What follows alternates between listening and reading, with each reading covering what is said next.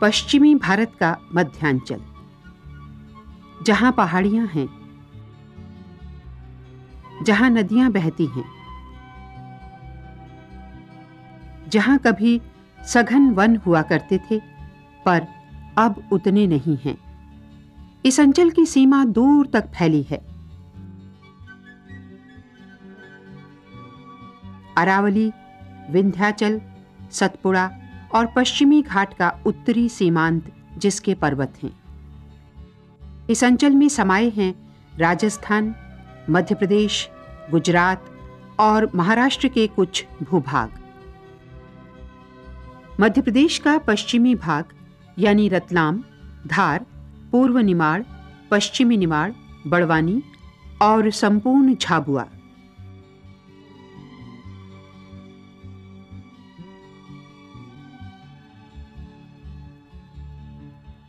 यही वो इलाका है जहाँ के जंगलों, पहाड़ों में बसती है एक जनजाति, जिसे भील जनजाति की संज्ञा प्राप्त है।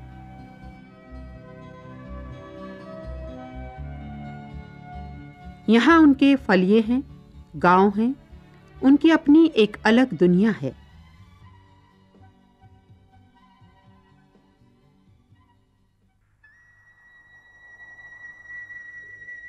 उनके अपने जीवन आदर्श हैं।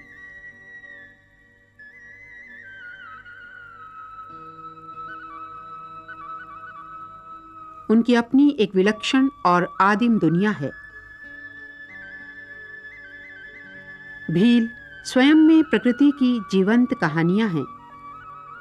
इसीलिए वे स्वयं को प्रकृति पुत्र मानते रहे हैं।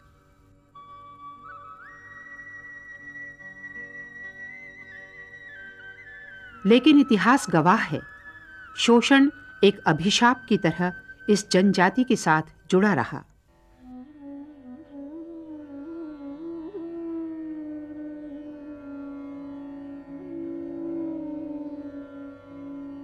दुख सुख की धूप छांव उसके अंधेरे उजाले में ये जनजाति जीती रही।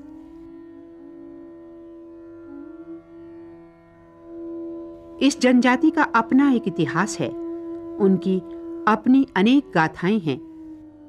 इन्हीं प्रकृति पुत्रों के जीवन ने, उनकी गाथाओं ने अनेक कवियों और साहित्यकारों को आकर्षित किया। चित्रकारों ने कैनवास पर उनके चित्र उकेरे और गीतकारों ने उनके गीत गाए। समाजशास्त्रियों ने उन पर अनुसंधान किए। ऐसे में स्मरण आता है वर्तमान युग के हिंदी के उन दो मूर्धन्य कवियों का, जिन्होंने भील जनजीवन को शब्द देती सशक्त और मार्मिक कविताएँ रची। इनमें से एक हैं, युग संहिता के गायक कवि मनीषी डॉक्टर शिव मंगल सिंह सुमन। जिनकी वाणी, जिनकी कविताएँ आज भी मशाल जलाती, अंधेरे को चुनौती देती हैं। भील आदिवासियों के जीवन पर आधारित सुमन जी की एक प्रसिद्ध कविता है, कटे अंगूठों की बंधनवारें। आइए जाने इस कविता का जन्म कैसे हुआ। मैंने झाबुआ आदिवासियों में अलीराजपुर में जाके देखा कि वहाँ के भील जो निशाना लगाते हैं, आज भी जो तीर चलाते हैं तो हमको राम के युग की याद आ गई। तीर तरकश लिए चलाते हैं और इतना बढ़िया निशाना मारते हैं कि दस में दस तो मार ही लेंगे, न हो तो आठ तो निशाना मार ही लेंगे, एक दो मिस हो तो मिस हो। चूकते नहीं, अचूक मारते हैं। मैंने देखा वो अंगूठा नहीं लगा रहे हैं, मैं चौंक गया कि बिना अंगूठा तीर कैसे चल सकता है? बिना अंगूठा तो एक पत्र चिट्ठी लिखना मुश्किल। मैंने बुला के पूछा, तुम लोग अंगूठा क्यों लगाते हमारे यहाँ श्राप है। वो तो जानते नहीं कि किसका, तब मुझे लगा कि इनके पूर्वजों का, हमारे एक महान ऋषि ने जब इनाम देना चाहिए था कि तूने बिना किसी शिक्षण के गजब कर दिया आर्चरी में धनुष विद्या में तो इनाम था दक्षिणा में उसका अंगूठा मांग लिया। दिल दहल जाता सोच करके कि जिसको पुरस्कार मिलना चाहिए, उसको दंड मिला, पर उससे भी क्या चुनौती दी है? आज उसके परंपरा के लोग भूखे हैं, महुए बीन बीन खा रहे हैं, लंगोटिए लगाए हैं, पर क्या सर्वहारा का स्वाभिमान है कि अंगूठे का प्रयोग नहीं करते। मैं दहल गया। उसी पर कविता है। कटे अंगूठों की बंधनवार है कटे अंगूठों की बंधन वारें बांधे, सरसंधानों के जल से मनाते तुम, बिके द्रोणाचार्यों के अभिजाति मूल्यों पर दुर्धर महाभारत के थोथे गान गाते तुम। तब से आज तलक स्वाभिमानी सर्वहारा, चार अंगुलियों से ही साधता अचूक लक्ष्य आहत अस्तित्व का। जीवित है अज जीविशा सौ सौ अभावों बीच सदियों को रौंद रौंद रौरव की छाती पर। आस्था आदिवासियों की अप्रतिहत, अप्रगल्भ, झूम रही निर्विकार सदियों के आर पार बहुओं की मस्ती में। हल्की हरारत से प्रस्फुटित होते ही होती हराम नींद हस्तिनापुर वासियों की। हल्की हरारत से प्रस्फुटित होते ही होती हराम नींद हस्तिनापुर वासियों की। विस्मित अवाक, मुँह बाए सब तकते खड़े, दुर्दम ज्वलंत एक लव्जी चुनौतियाँ आज का हर भील युवा अपने स्वाभिमान के साथ जीते, कुछ ऐसे ही अभिशाप भोगने को विवश है। बुद्धिवादी अपसंस्कृति का शिकार है।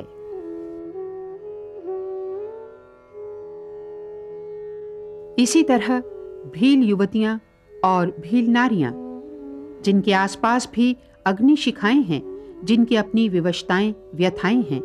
पहाड़, जंगल, खेत खलिहान ही उनके जीवन अंग हैं। लेकिन भील नारियों का अपना एक विशेष सौंदर्य, अपनी एक विशेष छवि है। शरीर पर विभिन्न आकृति वाले गुदे, गुदने तथा चांदी कांसों के गहनों से सजी कल्पनाशील आँखों वाली भील युवतियाँ जब नृत्य गीतों में निमग्न हो जाती हैं, तब भले रात ढल जाए, उनके पैर नहीं थमते। व्यथाओं के बीच भी उनमें उत्सवी हँसी होती है, एक विशेष जीवन शैली और आनंद होता है।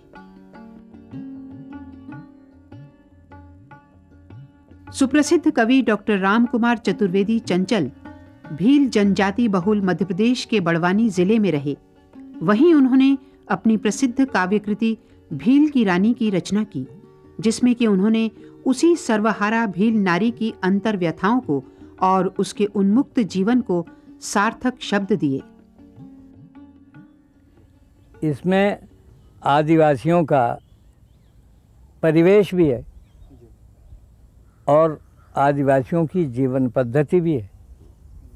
जो गरीबी है, जो उन्मुक्तता है और जो शक्ति है और उन भोले भाले और असुंदर दिखने वाले लोगों के जीवन का जो सौंदर्य है उसको देखने का मैंने प्रयास इसमें किया है। अब ये कविता आप लोग सुने। स्वागत खड़ी खेत में मुस्काती है किसी भील की रानी। खड़ी खेत में मुस्काती है किसी भील की रानी चारों ओर खड़े हैं पर्वत ऊँचे शीश उठाए। उधर खेत में खड़ी हुई वह अपनी फ़सल रखाए। श्याम वदन पर उसके काले स्याह केश बिखरे हैं। जैसे कोई घटा हवा के झोंकों में लहराए कूक रही कोयल पंचम में। यह सप्तम में गाती। कूक रही कोयल पंचम में। यह सप्तम में गाती उधर खिले वन फूल इधर यह खिलखिल कर मुस्काती। उधर हवा में फ़सल झूमती फूटी पड़ती बालें। अंग अंग से इसके फूटी पड़ती इधर जवानी। खड़ी खेत में मुस्काती है। किसी भील की रानी। इसकी बाहें नहीं कमल की नाल सरीखी कोमल। इसकी बाहें पुष्ट नीम की शाखाओं सी शामल। इसकी बाहें पुष्ट नीम की शाखाओं सी शामल। इसकी आँखें इसकी आँखें भीत मृगी सी नहीं विकल या चंचल। इसकी आँखों में संध्या के धीर सांवले बादल। इसकी चितवन में है तीखे तीर नतेज कटार। एक ज्योति है छू लेती है जो प्राणों के तार। एक ज्योति है, छू लेती है जो प्राणों के तार तो हंस गामिनी या गजगामिनी से नहीं कह सकते। इसकी गति जंगल के झरने सी अल्लड़ मस्तानी, खड़ी खेत में मुस्काती है किसी भील की रानी। बार बार श्रम की सांसों से फूल रहा है सीना। बार बार श्रम की सांसों से फूल रहा है सीना और शीश फूल पहना देता है बारंबार पसीना। श्रम ही है श्रृंगार, शक्ति ही इसकी सुंदरता है। उपजाऊ मिट्टी का हर कण इसके लिए नगीना, ऊँचे महल निछावर हैं, इसकी फूटी कुटिया पर। मणिमय पलंग निछावर हैं, इसकी टूटी खटिया पर। कंचन पात्र निछावर हैं, इस माटी की हांडी पर मोटर कार निछावर होती, तुच्छ बैलगाड़ी पर। यह अपने को कम न समझती किसी महारानी से। यह अपने को कम न समझती किसी महारानी से, इसका राजा इसे बुलाता जब सेना बानी से।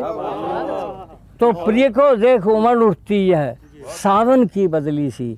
और शाम अधरों में जाती कौंद हँसी बिजली सी। चंद्रमुखी यह नहीं कि यह है कजरारी बदली सी। मन इसका भीगे, सावन सा गति इसकी बिजली सी। माल कौन सा तुआ विहाग के स्वर नगरों में होंगे। गूंज रही है यह निर्जन में देहाती कजली सी। बल खाती न कलाई, इसको नाज न नखरे आते। शीत, ग्रीष्म, वर्षा के मौसम इसको नहीं सताते। वन देवी सी भीगा करती वर्षा की झड़ियों में। तापस बाला सी तपती है। आतप की घड़ियों में चंद मुर्गियाँ, भेड़ बकरियाँ। इसकी सखियाँ प्यारी, फटे वस्त्र कांसे के गहने। यही संपदा सारी, मावस की अंधियारी हो। या धुली चांदनी रातें, यह मड़वे पर बैठ किया करती तारों से बातें। जंगल के फूलों के मुँह को चूम हवा आती है। गोफन घुमा घुमा कर ऊँचे स्वर में यह गाती है, गीतों ही गीतों में काली रात सुबह बन जाती, तब यह तरुण कपोती जैसी उठती है अंगड़ाती। फिर टपरे में से चक्की के पाट बोल उठते हैं और जंगली फूल सिहर कर आँख खोल उठते हैं। उठता है टपरे से क्षण भर बाद धुआँ बल खाता और कुआ वृंदावन के पनघट जैसा बन जाता। दूर खेत की पगडंडी पर लिए हौसला ताज़ा धनुष्वाण से सजकर आता भील वधु का राजा। ये राजा रानी की खेत की मैडें हैं सिंहासन। राजनीति के नाम, यहाँ है अपनापन, भोलापन। हाथ पाँव इनकी सेना है, मन इनका सेनानी। अन्नदान दुनिया को देते हैं ये अवढरदानी अनायास ही भील संपदा पा जाता मनमानी। मुँह में तिनका दाब की जब हंस देती उसकी रानी अखबारों में इस रानी के चित्र न छप पाएँगे। इतिहासों के पृष्ठ न इसका लेखा बतलाएँगे। यह मुमताज़ इसी जंगल में घुटकर दह जाएगी। ताजमहल की जगह खेत की मिट्टी रह जाएगी। चिंताओं से मुक्त खड़ी वह आज आम के नीचे। वहीं बौर सी झर जाएगी एक दिवस अनजानी। खड़ी खेत में मुस्काती है। किसी भील की रानी। प्रकृति की गोद में जन्मे ये आदिवासी सचमुच प्रकृति पुत्र हैं जहाँ एक तरफ़ ये प्राकृतिक संसाधनों से ही अपने लिए सब कुछ जुटाते हैं वहीं दूसरी ओर प्रकृति के संरक्षण के लिए अपना सब कुछ नौछावर करने के लिए भी तैयार रहते हैं। प्रकृति और इन आदिवासियों के बीच का ये रिश्ता स्वार्थवश नहीं है, बल्कि ये दोनों के बीच के प्रेम और सौंदर्य को प्रदर्शित करता है। हालाँकि आधुनिक चमक दमक से इनका जीवन भी प्रभावित हुआ है, लेकिन इनकी मूल संस्कृति रीति रिवाज और प्रकृति प्रेम आज भी ज़िंदा हैं।